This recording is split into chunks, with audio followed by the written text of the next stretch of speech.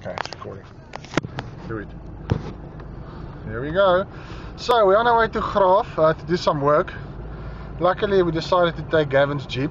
As you can see there's a bit of a flood going on here. Um, I'm, I'm quite scared at the moment I must admit. Gavin seems to be calm which is uh, reassuring. We're passing the deepest end now, uh, going onto the bridge, we should be okay. The bridge is quite shallow I think. Uh, the cars up ahead are turning around, they're clever, more clever than us. I don't know why Gavin, the car's sliding a bit to the right, that's a bit of a concern to me. But uh, looks like we're back on track now. so yeah, this this looks scary. This is the, the part where the river is actually very strong. Luckily the car hasn't died yet, it's a diesel. So as long as we give it fuel it will go. Wow, so yeah, this was a bit of an adventure for the morning. I must admit my heart's racing a bit. Gavin seems to be smiling, he's happy. okay, so that's the end of the show.